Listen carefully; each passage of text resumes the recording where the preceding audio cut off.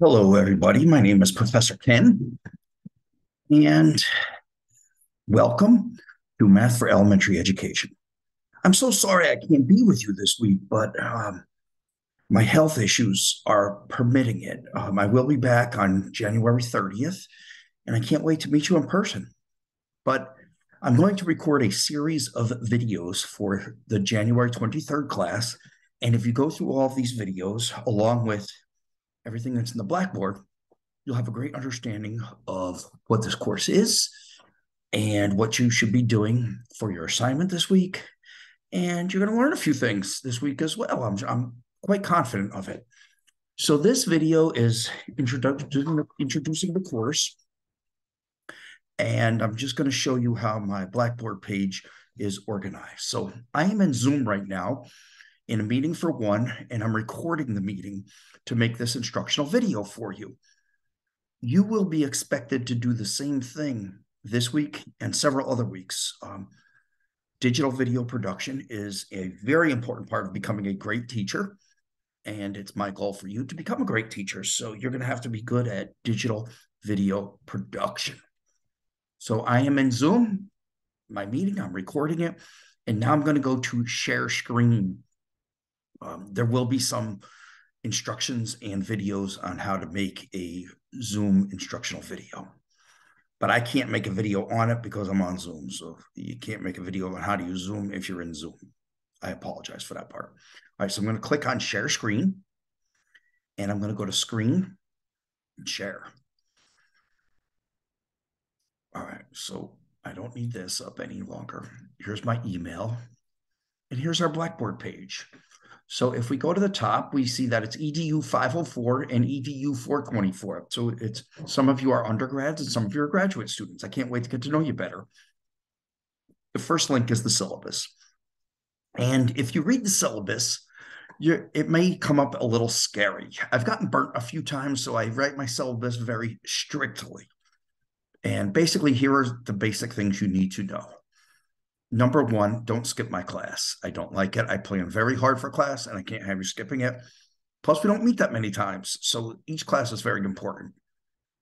Two, try to get here a few minutes early, sit as close to the front as possible, and um, stay off your device in class. It's, it's rude to be on your device while I'm teaching. Um, and lastly, um, make sure you get all of your homework done on time. So I used to be very liberal about letting students hand in work late, but then they would let it all pile up until the end and they couldn't get it done with good quality. So every assignment needs to be done. You can't pick and choose which assignment you're going to do. If you don't do an assignment, not only do you get a zero, but you get a half a letter grade deduction. Uh, I understand life gets in the way. So if you need to hand in an assignment late, I will allow it one time. If you have a huge problem, I will allow it a second time but no more than that. You can be excused from classes, but you need to talk to me about it ahead of time. I'm not going to excuse you for a class after the fact. So if you do miss a few classes, if you if you miss if you have unexcused absences from class, it's not going to reflect well. Um, in terms of the assignments, you will have one or two assignments due for each class. I'm not the type of professor that gives you one giant assignment due in four weeks. I prefer to um, give you little assignments that are due each week. Um, each assignment has a point value. And if you want to know what your grade average is, you add up how many points you've earned and divide that by how many points you could have earned. Multiply it by 100 and you'll have your percent average. Um, so I hope that makes sense. All right, so that's about all there is to know about the syllabus. Um, right underneath the syllabus, it says, please fill out the survey. Uh, there are times when I may need to get a, need to get a hold of you. So if you fill out the survey, I'll know how to get a hold of you. Excuse me. If we have inclement weather, we might have to meet in my Zoom room. So if you click here, it's the link to my Zoom room. In this class, we're going to be using a lot of manipulatives. Vir virtual manipulatives are manipulatives that are online. Concrete manipulatives are the manipulatives you hold in your hand. So these are all links to virtual manipulatives. It's a great library. And I would suggest that you save those links after the course so that you can use them with your students.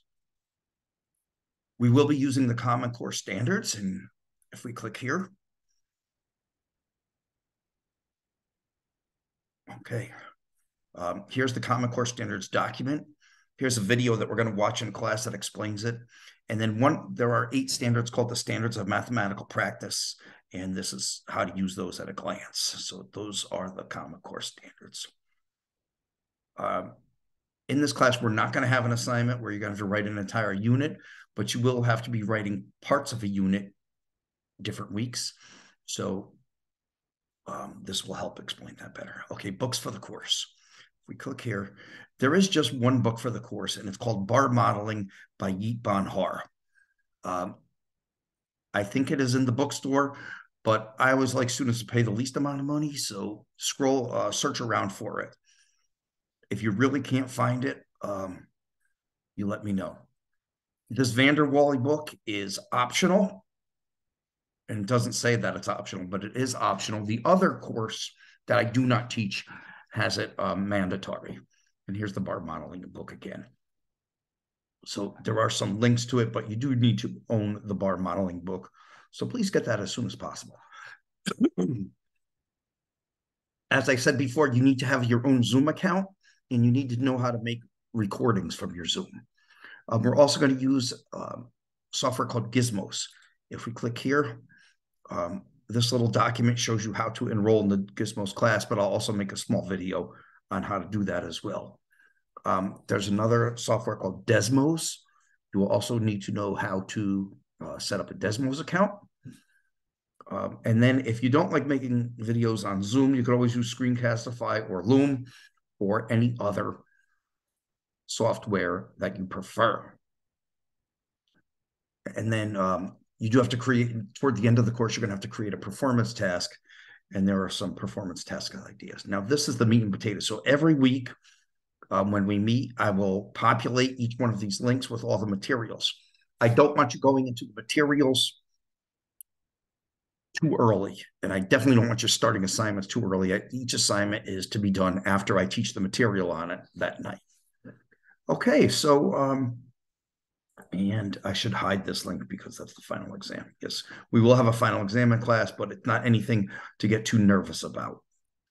All right, so that's how my Blackboard is set up and what the expectations are for the class. So I'm going to end this video. I'm, uh, I'm going to have several shorter videos so that you can take breaks, etc. But while you're watching my videos, I do suggest that you have your notebook and a pen in front of you so that you should you can pause them and take lots of notes. All right, I'm going to stop the share. Hmm, here I am again. So um, best wishes, and I'll see you in a couple minutes. Bye-bye.